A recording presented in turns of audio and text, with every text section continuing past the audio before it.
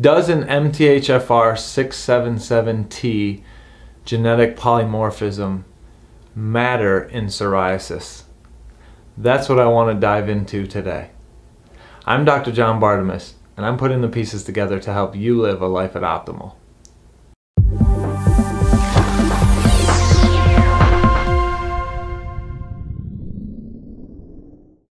The MTHFR allele is a big time topic of interest in the alternative medicine worlds. It's a big deal because it's tied to fertility, it's tied to thyroid function, it's tied to psoriasis, it's tied to all types of health challenges. And so I want to look at it in the context of psoriasis today. Does an MTHFR SNP or polymorphism, meaning you have one or two poor copies of the allele, does that cause psoriasis? And if it doesn't cause it, does it impact psoriasis? The answer is yes. The MTHFR allele can impact psoriasis, but studies show that it is not causal in the psoriasis pathogenesis. So MTHFR mutation does not cause psoriasis, but studies show that it does impact the severity of the psoriasis or has a role in exacerbations of psoriasis. What am I talking about? Well, let's dive into the methylation cycle for you to understand this more fully. Now, this is the methylation cycle, and the methylation cycle is a physiologic process that takes the amino acid methionine, donates a methyl group, and the leftover part becomes homocysteine. And when the cycle is functioning properly, you could picture these two circles as gears. When those gears are turning properly, then the homocysteine is going to be recycled back to methionine, give up a methyl donor, become homocysteine, be recycled to methionine, give up a methyl donor. And so you have an efficient process of methylation, which basically is turning genes on or off. Well, MTHFR plays into this process because MTHFR is this black box right here, which is the gene involved in the methylation process. MTHFR requires folate to function, or vitamin B9.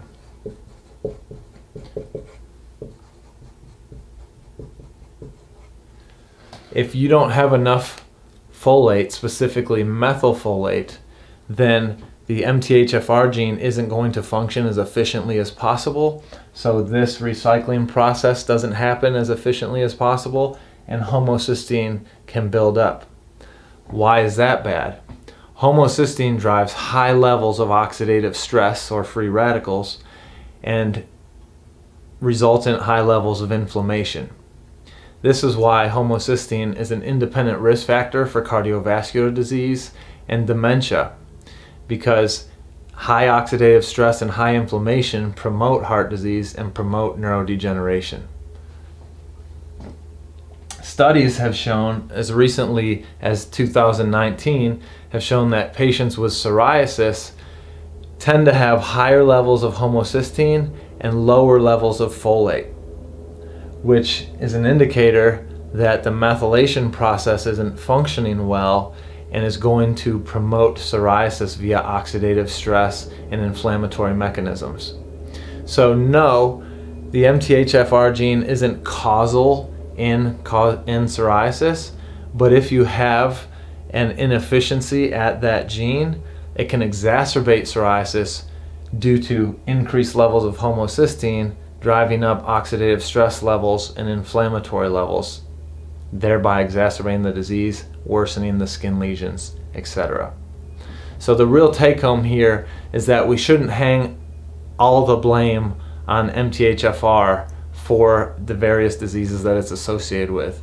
We can't hang any of the causal blame on it in psoriasis, but what we can do is hang blame on exacerbations.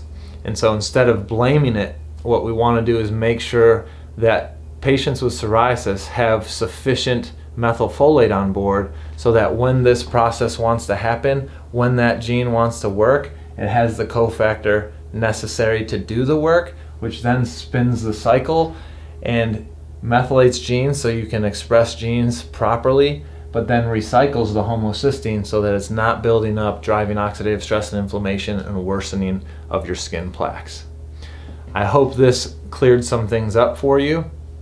And what you want to do is work with a practitioner who knows how to crack the case, so to speak, of your psoriasis.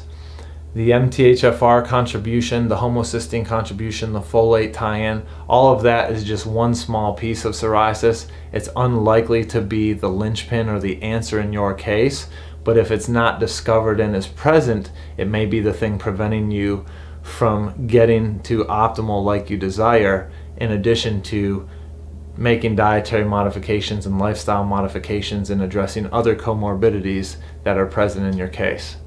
So putting the pieces together to all this is complicated and generally conventional medicine is too specialized and doesn't have the time or desire to do it. So seeking out a functional medicine practitioner that wants to do that detective work, that wants to look at you as the holistic perspective and individual person that you are, and put those pieces together is going to be key to you reaching a life at optimal.